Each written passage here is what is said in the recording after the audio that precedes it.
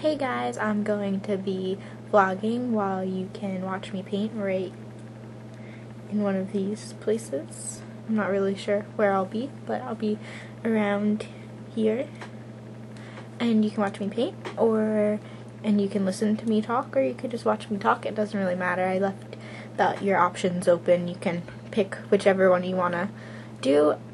So I heard this story, and I'm not sure if it's true, partially true, or what, but I thought it was hysterical, so I'm to share it with you guys. Hermione Granger, or as her real name, uh, Emma Watson, attends Brown.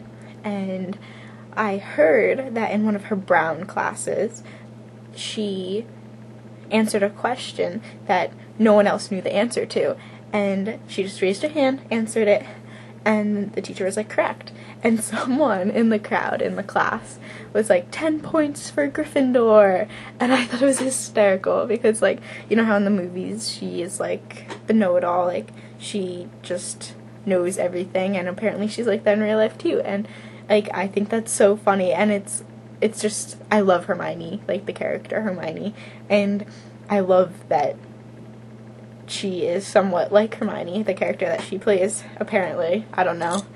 This could all be a complete lie and a complete rumor, but it was a funny one, so I told you. So, I was like, hmm, I wonder what's going on with Emma Watson. So, I look her up on Twitter, try to find the authorized Twitter, and I find it, and I'm like, Emma Watson has no hair.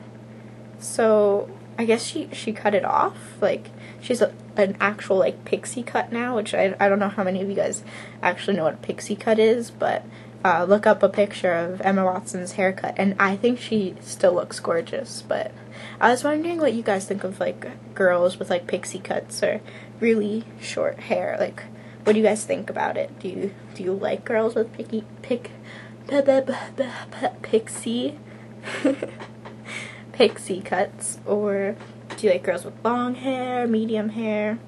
I don't know. You guys let me know. So I also have a new obsession. I watch Charles Tripp.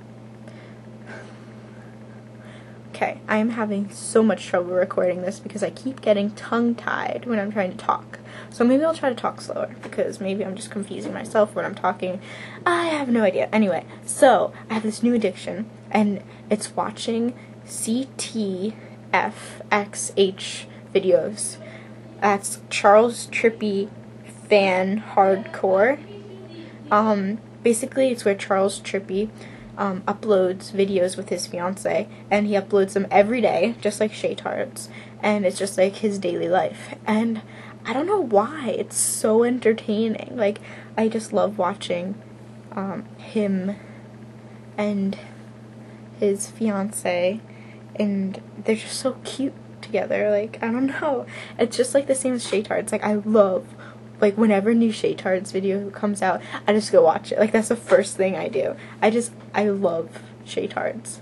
All the kids are so cute, and it's just so entertaining.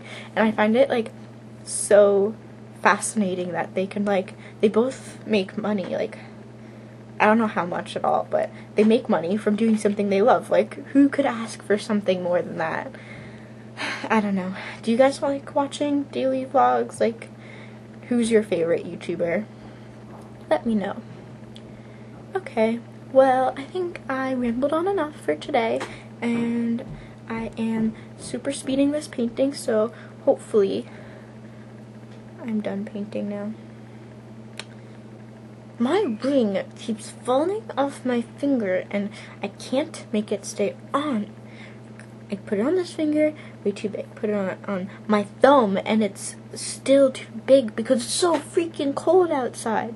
It just shrinks all of my fingers down to little tiny twig things, and I just can't fit any of my rings on any of my fingers, and it's so frustrating because I always like wearing rings, and I'm so angry.